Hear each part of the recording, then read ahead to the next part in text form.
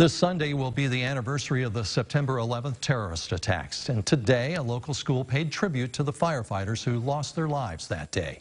Students at Sullivan Elementary School carried an American flag and a fire hose in honor of the firefighters.